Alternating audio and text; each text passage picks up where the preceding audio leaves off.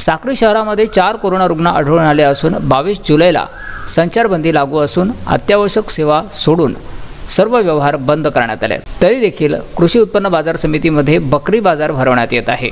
तहसीलदार प्रवीण के चव्हाण यांच्या आदेशाचे पालन न करता शुक्रवारी बकरी बाजार भरवण्यात आला.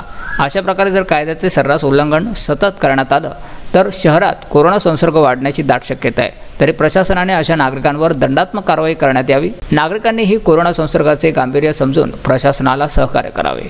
न्यूज फिफ्टीन मराठीसाठी खंडेराव पवार धुळे.